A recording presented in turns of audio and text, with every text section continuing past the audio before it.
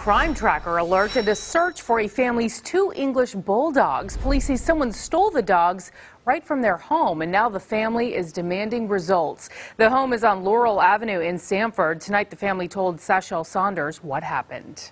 I had everything locked up. Sanford mom Roberta Fowler was getting work done on her home near Laurel and 8th Streets by two neighborhood handymen when one asked for a quick break. He asked me to take him to the store to get some cigarettes, and I said, sure, no problem. The trip was less than 10 minutes, but when she got back, Here's where the dogs were in their cage. her two English bulldogs were gone. I come out here to let them out, and I said, damn, where are the dogs? Fowler had not let Beauty and Kara out of their cages, sitting just on the other side of her back door. I was thinking, there's no way someone would have the audacity to actually come in my home and take my dogs. Panicked, she began searching for the tan and white pups all across the city. Someone told me that they were stolen. They know that they were stolen from our backyard by two people, and that's why I went to the police. Sanford police posted a Facebook message asking for the dogs, saying they still hadn't ruled out the handymen.